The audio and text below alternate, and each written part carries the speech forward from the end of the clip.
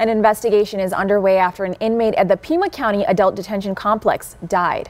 The Pima County Sheriff's Department says they arrested 41 year old Joel Loya on July 26 for a probation violation warrant for dangerous drug sales and trespassing.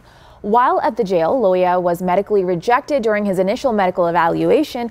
He was taken by the FBI to a local area hospital where he was evaluated and cleared to be booked into the jail. But on Monday, Loya began vomiting during detox protocol. While at the hospital, his condition worsened and he died. Detectives say they found no signs of trauma and no suspicious circumstances.